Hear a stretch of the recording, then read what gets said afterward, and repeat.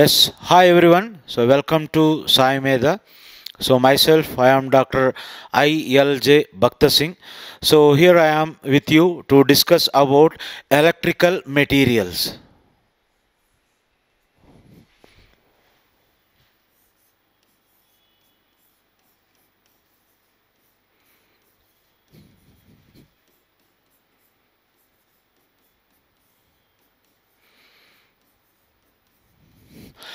Yes, uh, so till this 2023, I did not observe the syllabus in any Genco, Transco, AE uh, examinations, but this Telangana government recently they introduced this concept for the TS Genco, TSE Genco. So here uh, we can expect 5 marks, that is 4 to 5 marks and here we have the various concepts are there but generally we can expect only basics don't worry so don't feel so don't bother so ఏదో వస్తుంది ఎలానో జరుగుతుంది నేను రాయగలనా రాయలేనా అనే భయము ఏమీ వద్దు so maximum four to five bits వస్తాయి అది కూడా so they will ask only from the basics basics only they will attempt so that means so what is what if you know what is what then you can easily attempt the question but uh, so we have given entire theory and also we have given some prob we solved some problems and also we have given some objective bits along with the options and uh, uh, also we have given the the answer with the proof also that data we have given in the uh, videos. Just go through all those videos. This will be very very uh, useful to you. So hence my sincere request is don't bother about the subject. It is very very easy because you know about electrical materials and you know about magnetic materials and somehow you know about insulating materials and mechanical materials too. So but where you have some doubt in the sense so you have the crystal structures yeah. You have crystal structures is there.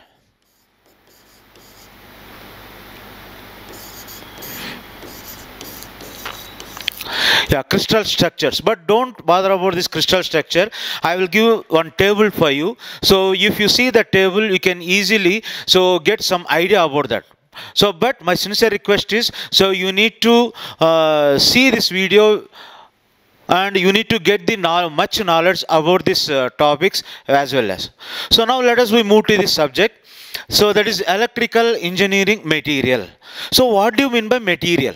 So in the electricity so what are the various materials we have if you start the network theory we used to see there are three kinds of materials we have. Oh those are conductors semiconductors and insulators. That's it. So conductor in the sense which can easily allow the current and resistor insul- uh, insulator in the sense which cannot allow the current and semiconductor in the sense which can allow the current partially. So that three things we know. But apart from this so we are going to fabricate the resistor. We are going to design the motor. We are going to design the transformer. We are going to design the small electronic parts also transistor diodes etc etc yes scr all these things. Then how we can design all these things? Which material we can use that one? So that all those things we will see in this class okay? So before going to that so we have the three materials which we know that resistor inductor capacitor. So how we can fabricate the resistor? What do you mean by resistor? Which is called the resistor? Yes. There is no superconductor on the earth but every material offers some amount of resistance every material even our human body this body is also having the resistor and this board is also having the resistor this pen is also having the resistor that fan is also having the resistor. So like that every material is having the resistance. So then what is resistance? What is res- resistance in the sense it is the property of the material so which opposes the flow of current which opposes the flow of current. Which opposes the flow of current in the sense suppose for example i have the resistor like this. This i can consider as the resistor. And here i have given some voltage.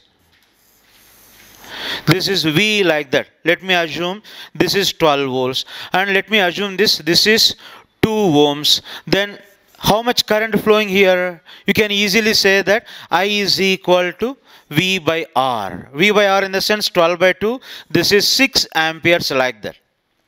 And even if i consider the same current if I consider the current in this direction, if I consider the current in this direction, uh, then how much current here? I can say this is minus 6 amps like this minus 6 amps like this. So minus 6 amps in the sense, can I take the value of resistance as the negative? Can I take the value of resistance is negative? Because in some problems like uh, measuring measurements or uh, instruments like that, so we used to find out the value of resistance. They may ask the questions like that the shunt is connected for that meter and series is connected for that meter. Find out how much value of resistance like that. Then while you are finding that, in some cases you may get the value of resistance as the negative. Is it possible to have the re negative resistance value? And negative inductance value? Negative capacitance value? No, never. Resistance, inductance, capacitance always must be in between 0 to infinity. It never be less than 0. That means it never be negative. If suppose, if I say inductor is negative, then I can say that is not the passive element, that is the active element. And similarly capacitance, that is not the uh, active element, that may be uh, passive element. So that may be active element like this. Similarly, but we cannot say resistor is the active element because resistor is energy dissipative element. Just it can dissipate the energy.